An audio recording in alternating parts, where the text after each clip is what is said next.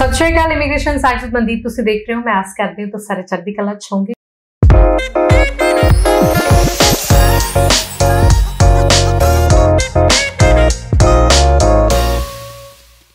ਹਰ ਵਾਰੀ ਪ੍ਰੋਗਰਾਮ ਲੈ ਕੇ ਹਾਜ਼ਰ ਹੋਣੇ ਔਰ ਹਮੇਸ਼ਾ ਇਸ ਤਰ੍ਹਾਂ ਫਿਰ ਤੋਂ ਮੇਰੇ ਨਾਲ ਪ੍ਰਦੀਪ ਜੀ ਜੁੜੇ ਨੇ ਜੋ ਕਿ ਵਸਨ ਓਵਰਸੀਜ਼ ਦੇ ਐਮਡੀ ਨੇ ਨਾਲ ਨੇ ਮੇਰੇ ਸਵਾਗਤ ਹੈ ਸਤਿ ਸ਼੍ਰੀ ਅਕਾਲ जी थैंक यू जी ਜੀ ਸੋ ਠੀਕ ਠਾਕ ਹੋ ਸਰ ਜੀ ਬਹੁਤ ਵਧੀਆ ਜੀ ਤੁਸੀਂ ਸਾਡੇ ਨਾਲ ਜੁੜ ਸਕਦੇ ਹੋ ਇਹਨਾਂ ਨੰਬਰਸ ਤੇ ਉੱਪਰ ਕਾਲ ਕਰ ਸਕਦੇ ਹੋ ਜਦੋਂ ਤੁਸੀਂ ਪੁਰਜ਼ੋਰ ਡਿਮਾਂਡ ਕੀਤੀ ਇਸ ਕਰਕੇ ਅਸੀਂ ਇੱਕ ਲਾਈਵ ਸੈਸ਼ਨ ਵੀ ਸ਼ੁਰੂ ਕਰ ਦਿੱਤਾ।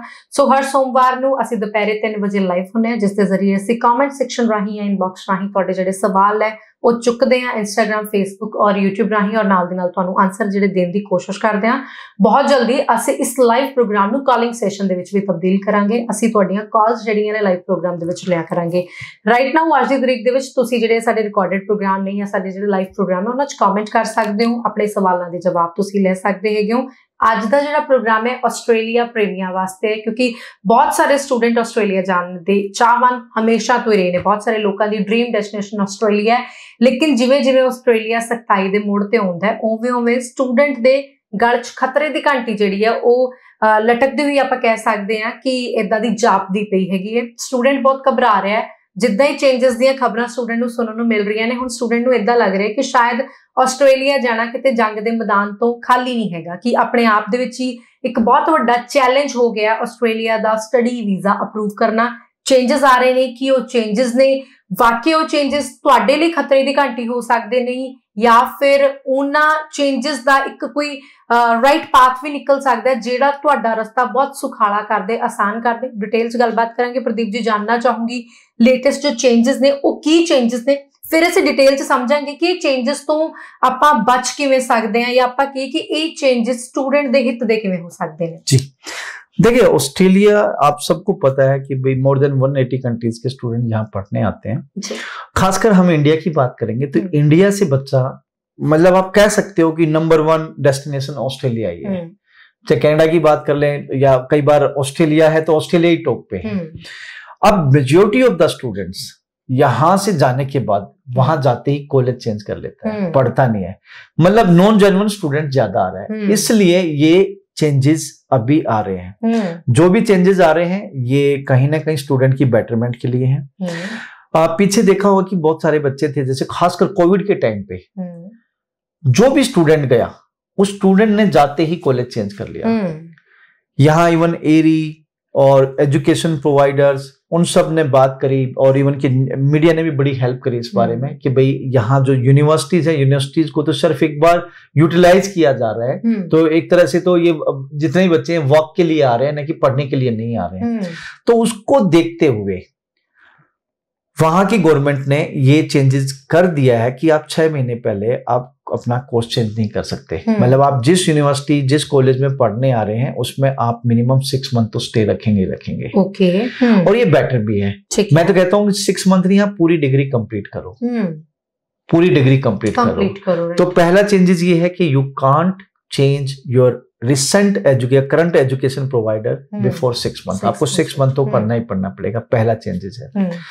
दूसरा चेंजेस ये है कि भाई जो जीटी है genuine student entrant right? Temporary GT GT right genuine temporary entrant right ये है ये भी चेंज हो रहा है रिप्लेस हो रहा है जीएसटी के साथ. जीएसटी का अभी देखो ये अभी कहीं पे भी अनाउंसमेंट नहीं आई है हम्म। लेकिन जितना हम इसको समझ पा रहे हैं तो ये जेनवन स्टूडेंट टेस्ट है. हम्म, इसमें कहीं ना कहीं बच्चे को और डिटेल्ड में बताना होगा कि वाई ऑस्ट्रेलिया ओके और तीसरा चेंजेस है हम्म, या यू कैन से कि भाई एक नया रूल आ रहा है वो आ रहा है एजुकेशन प्रोवाइडर के लिए। Okay as per the government जिस एजुकेशन प्रोवाइडर का 50 परसेंट के आसपास सक्सेस रेट रहेगा हम्म, मतलब वीज़ा की बात करें मतलब 50 परसेंट रिफ्यूजल रहा हम्म, या बच्चा वहाँ जाके 50 परसेंट या उससे अब वो बच्चा भाग गया भाग गया हम्म, तो उन सभी एजुकेशन प्रोवाइडर का हम्म, लाइसेंस सस्पेंड हो जाएगा। Okay. मीन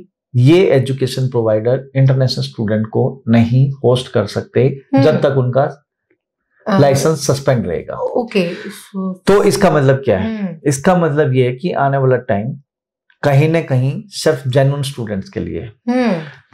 इंडिया से खासकर मैं इंडिया से बात करूँ बहुत सारा स्टूडेंट डोजी डॉक्यूमेंट के साथ है। इसमें कंसल्टेंट भी हेल्प करते हैं हम्म। फेक डॉक्यूमेंट में। हम्म। और इधर से स्टूडेंट भी ओके फेक डॉक्यूमेंट के साथ हम्म, बिलीव करते हैं। यहाँ मैं देखूँ नॉर्थ इंडिया में खासकर काफ़ी स्टूडेंट ऐसे हैं या स्टूडेंट्स के पेरेंट्स ऐसे हैं भेजना तो अपने बच्चे को ऑस्ट्रेलिया जाते हैं हम्म, लेकिन उनके पास फंड्स नहीं है। हम्म, जब उनसे पूछा जाए ठीक है जी पहले आयल्स होने दो या पीटी होने दो उसके बाद एजेंट कर देगा। हम्म, सर आप कर दोगे। तो इस टाइप की अब एजेंट कर देगा एजेंट के पास कोई मैजिक थोड़ी है। हम्म, ठीक है? तो अगर एम्बेसी कहती है कि तीन महीने पुराने फंड चाहिए हम्म, आज की डेट में तो कुछ यूनिवर्सिटी सिक्स मंथ ओल्ड भी फंड मांग रही है। मानते तो इसके लिए आपको तीन से छह महीने वेट करना पड़ेगा। हम्म, आप अगर आज ही दे रहे हो it mean something something is fishy ठीक है। हम्म, तो जेनुअन स्टूडेंट जो रियली सीरियस स्टूडेंट्स हैं उनके लिए तो बहुत अच्छे दिन आने वाले हैं। लेकिन उन सभी स्टूडेंट्स के लिए जो पढ़ना नहीं चाहते हम्म, या सिर्फ़ यूनिवर्सिटी का सहारा लेके वहाँ जाके दो नंबर में काम करना चाहते हैं या छोटे मोटे कॉलेज में एडमिशन लेना चाहते हैं उनके लिए बड़ी प्रॉब्लम आने वाली है। हम्म। क्योंकि अब देखिए जब एजुकेशन प्रोवाइडर के ऊपर अगर तलवार लटकी होगी हम्म। कि यार अब मेरा लाइसेंस ना रद्द हो जाए तो वो क्या करेंगे? तो वो बच्चों का एडमिशन वो- एडमिशन पहली बात तो एडमिशन लेगा तो बड़ा तरीके से कि भाई they will try to find out कि कौन सा स्टूडेंट जेनुअन है कौन सा स्टूडेंट जेनुअन नहीं है। ठीक है? ठीक। तो उनकी जो पारखी नज़र है अब और ज़्यादा तेज होने तेज वाली है है। अब उससे हम्म, कहीं ना कहीं नॉर्थ इंडिया पे और इम्पैक्ट आने वाला हाँ है। ये क्वेश्चन यहाँ पे रेस होना ज़रूर बनता है कि नॉर्थ इंडियन बच्चा तो पहले ही परेशान था क्योंकि कहीं ना कहीं बहुत सारी यूनिवर्सिटीज ने जब ये अनाउंसमेंट करी कि हम नॉर्थ इंडिया के बच्चे नहीं लेंगे ना क्यों नहीं लेंगे? कि अ, क्योंकि क्यों आप? बच्चों ने फ्रॉडी डॉक्यूमेंट हाँ तो, है ना? तो रिस्पॉन्सिबल है ना। हाँ। दस में से सात बच्चा आठ बच्चा नौ बच्चा अगर जाते ही भाग जाता है। क्रेडिबल स्टूडेंट तो यहाँ भी था। अब उस बच्चे का क्या होगा? उसके लिए राइट गाइडलाइन क्या है? उसके लिए राइट रास्ता क्या हो सकता है? देखो हर एक पाँचों उंगली बराबर नहीं है हर जगह जेनुअन स्टूडेंट्स भी हैं और इस टाइप का भी स्टूडेंट है जो सिर्फ़ एंड सिर्फ़ स्टूडेंट वीज़ा को एक वे मानते हैं वहाँ एंट्री करने का एंट्री हम्म, करने का।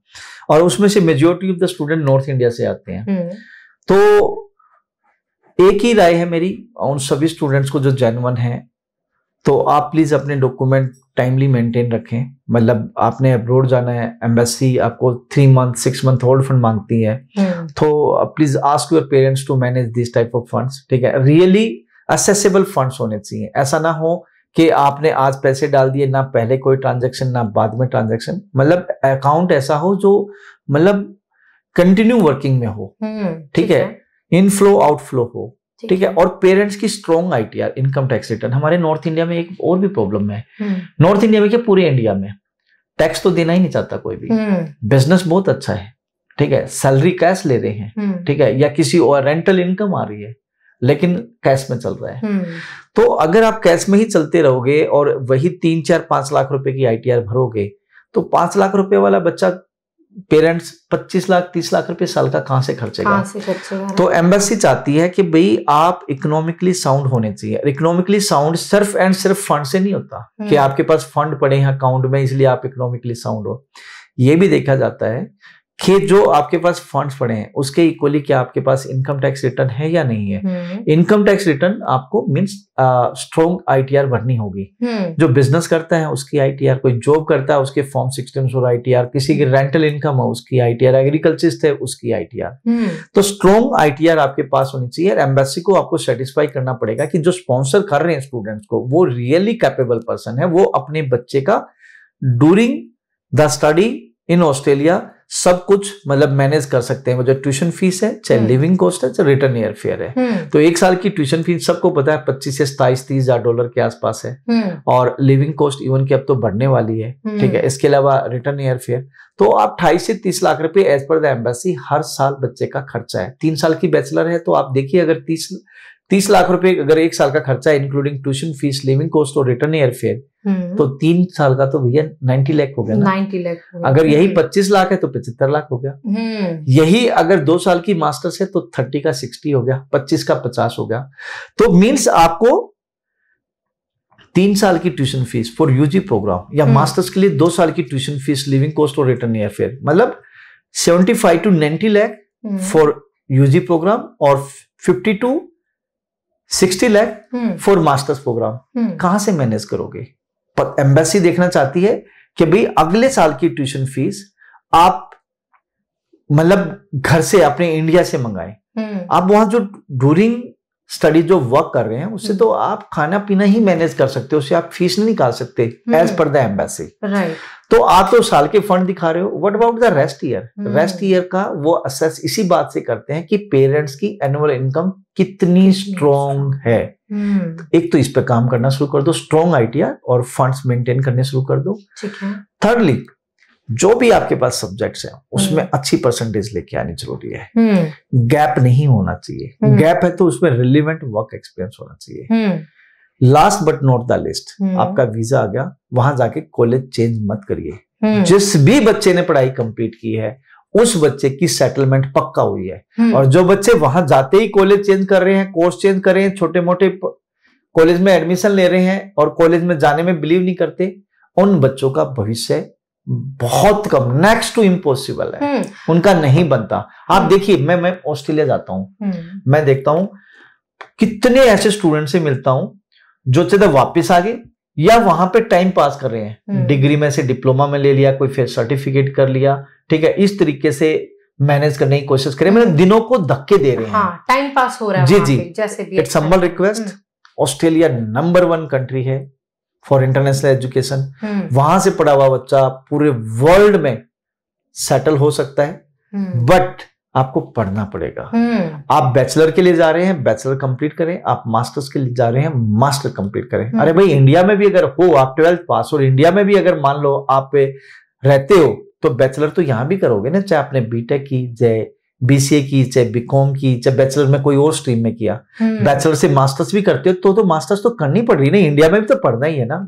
जो अब 18 साल के हो तीन साल तो आपको 21 तक तो पढ़ना पड़ेगा ना बैचलर के लिए। हम्म, ऐसे ही अगले दो साल मास्टर्स तो करनी है ना इंडिया में भी तो पढ़ ही रहे हो ना। हम्म, बाहर जा रहे हो पढ़ने के लिए तो पढ़िए। जो बच्चा पढ़ेगा वो रियली सेटल होगा जो बच्चा नहीं पढ़ेगा वो सेटल नहीं होगा। बिल्कुल अभी ये जो भी चेंजेस लगातार ऑस्ट्रेलिया कर रहा है ये उन कंसल्टेंट के लिए भी हम कहें कि उन पे बंद करने के लिए उनको उनके काम को बंद करने के लिए है कि जो गलत काम करते हैं ऐसे बच्चों को प्रोत्साहित करते हैं और जो स्टूडेंट डॉक्यूमेंट्स अपने के साथ में छेड़खानी करने के लिए तैयार हो जाते हैं ये सबके लिए ही एक कहें कि बहुत खतरे वाली चीज़ है सो आपको अवॉइड करना चाहिए देखिए जब तक इंडियन गवर्नमेंट सब कुछ डिजिटलाइज नहीं कर देगी तब तक ये थोड़ी बहुत पॉसिबिलिटीज हैं हम्म। जिस दिन सारी चीज़ें ऑनलाइन हो जाएँगी उसके बाद पॉसिबल नहीं है गवर्नमेंट ने डिजी लॉकर एक निकाली है तो। एप्लीकेशन है उस पर मतलब डे बाय डे सारे एकेडमिक आधार कार्ड और हर हम्म। चीज़ें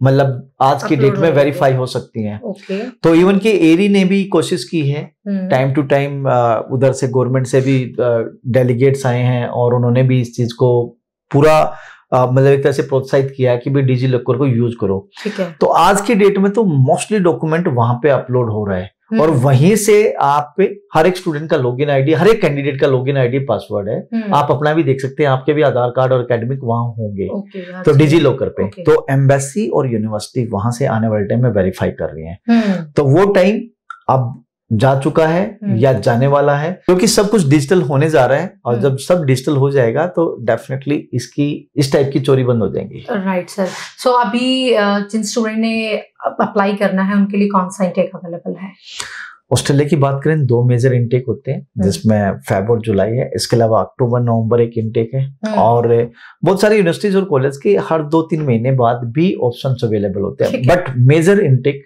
Feb July July right okay thank you so much sir ji welcome so अगर आप क्रेडिबल स्टूडेंट हैं जेन्युइन स्टूडेंट हैं तो आप ऑस्ट्रेलिया अप्लाई कर सकते हैं आपके लिए कोई भी खतरा नहीं है बट आप एक अच्छे कंसल्टेंट के थ्रू अप्लाई करें ताकि आपकी प्रोफ़ाइल में कोई भी ऐसा डॉक्यूमेंट ना अपलोड हो जिससे कि आपको रिजेक्शन आए या फिर आने वाले टाइम में आपको खतरे का सामना या नुकसान का सामना करना पड़े। मनदीप यहाँ पे एक चीज़ और मैं बोलना चाहूँगा। अगर। वेस्टर्न ऑफ़िस की बात करें तो हमारा मेलबर्न में भी ऑफ़िस है and we are the immigration lawyer right और इमिग्रेशन लॉयर हैं तो we are eligible for student visa के साथ साथ for tourist visa PR business immigration her type का जो वीज़ा उसके लिए हम ऑथराइज हैं। और रिकमेंडेड बाय हाई कमीशन होते हैं जो इमिग्रेशन लॉयर और मारा होते हैं। agents, तो right, ये वही लोग होते हैं जो मतलब जिनके पास ऑस्ट्रेलिया की पीआर है हम्म। फिर आपने इमिग्रेशन की स्टडी की है हम्म, लाइसेंस के लिए टेस्ट में बैठे हैं वो आपने क्लियर किया है तभी आप मारा या इमिग्रेशन लॉयर बन सकते हैं। हम्म, तो recommended by high commission and definitely अगर अच्छा कंसल्टेंट होगा तो कहीं ना कहीं पॉसिबिलिटीज हैं कि भी आपका सेटलमेंट हो सकता है मतलब आपका वीजा लग सकता है right sir thank you so much ji welcome